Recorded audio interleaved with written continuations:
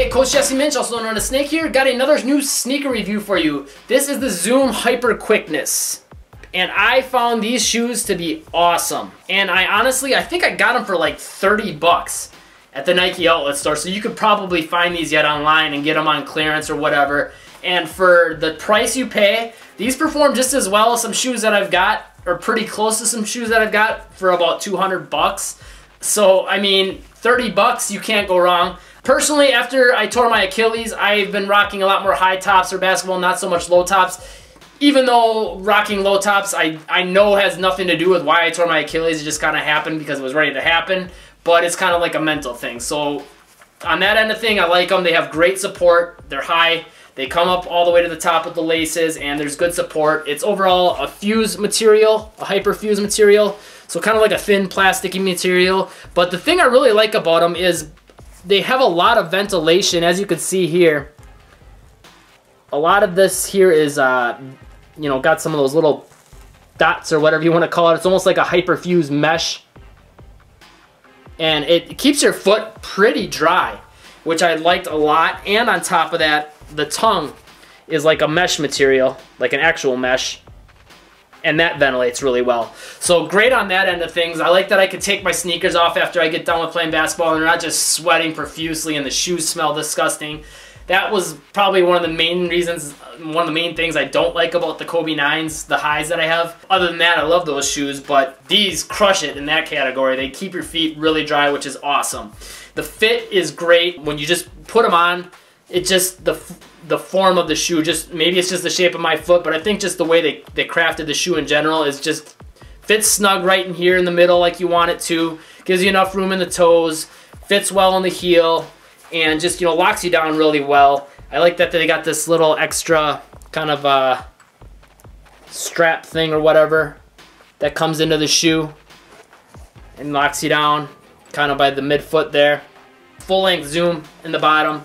And it's the kind of zoom I like where it rides really low to the ground. Good traction on them. Pretty much your typical herringbone traction, but grips the floor really well. Pretty close to the Kobe 9s, not quite as good. Again, Kobe 9 to me is probably the best traction I've ever had on a shoe. Pretty close to that. I would say the Jordan 29 is probably slightly better than these as well. Other than that, though, I, have had quite a few different shoes lately, and these are one of the tops that performing as far as traction goes for me. They fit well, they lock you down, nice high top. Really not a lot to say about them. I mean, the design to me is just okay.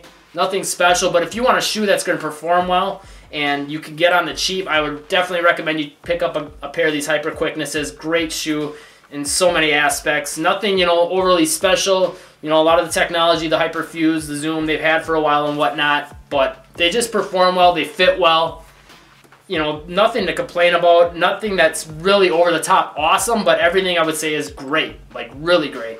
So, you know, put all that together in a package, package and you can get it for 30 bucks. That's pretty sweet. Uh, these are 11s, and I wear 10 and a half, sometimes an 11, and I got myself the 11, and these fit perfect for me. So, you know, if you're kind of on the line there, maybe go up to that next half size. You know, you might want to try them on as well, just to be sure. But that's my review of the Nike Zoom Hyper Quickness. One last look for you.